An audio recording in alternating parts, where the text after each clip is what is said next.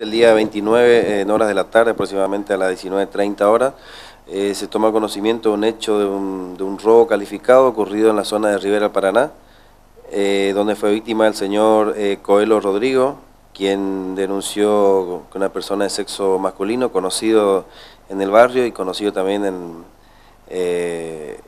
por los hechos cometidos contra delitos contra la propiedad, da aviso de que esta persona había ingresado a su domicilio con un arma blanca, con un cuchillo tipo tramontina,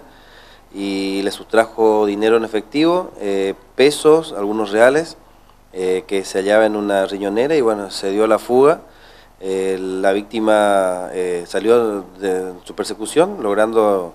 reducirlo a pocos metros y esta persona lo, lo agrede con el arma blanca, produciéndole un corte en la mano derecha y en el antebrazo derecho. Eh, inmediatamente la comisión policial llega al lugar, eh, la persona ya estaba reducida en inmediación al camping municipal, eh, siendo identificado como Gabriel Álvarez, argentino mayor de edad. inmediatamente se lo traslada a la dependencia policial y se pone en conocimiento del juzgado en turno,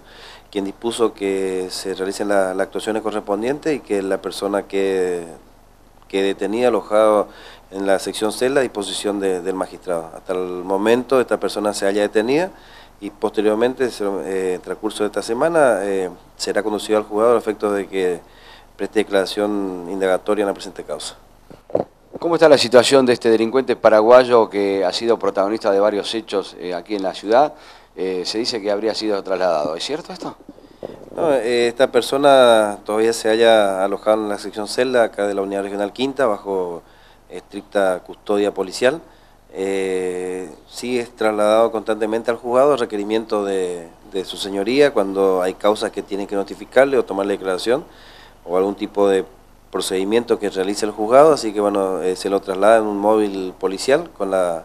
con la custodia del personal del Grupo de Operaciones Especiales que está a cargo de su custodia personal.